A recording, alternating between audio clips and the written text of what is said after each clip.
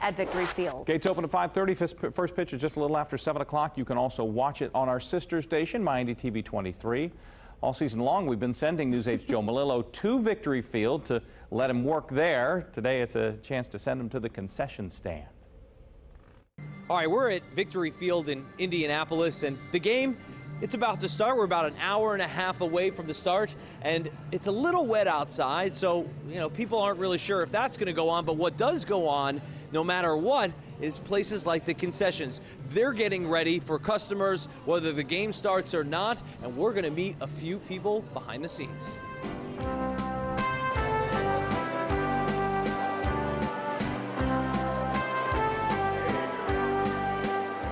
right behind home plate.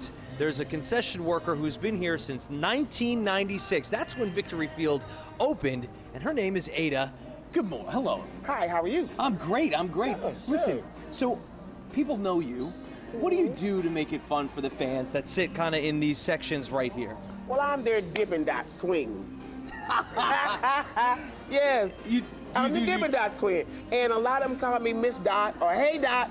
That's it. Instead of Ada, it's Dot. that's great. Well, it's a three three letter thing going yeah. on. That's great. Ada and then DOT. Yeah. Why do you come to Victory Field every year? Why do you like working these these games? It's fun, and you meet all type of people, all kinds.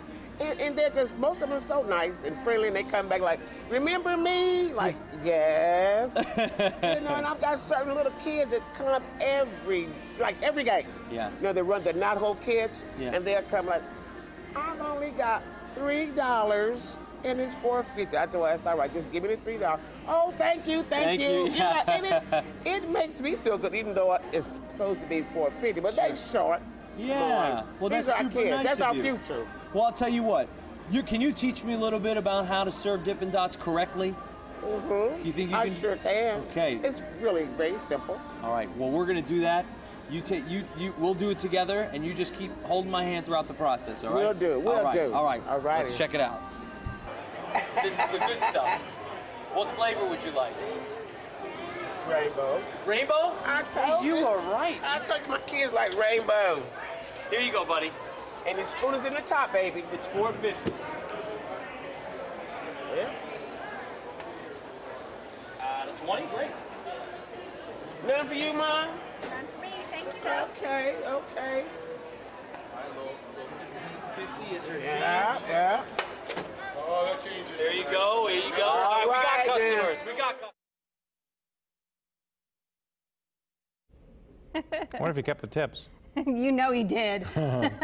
also at Victory Field last night, Indianapolis Indians fan who's pushing for a one-day contract at least got a jersey, some time in the dugout, and got to deliver the lineup card. Garrett Huizenga is still trying to drum up the 26,000 retweets the team says he needs to get an actual one-day deal.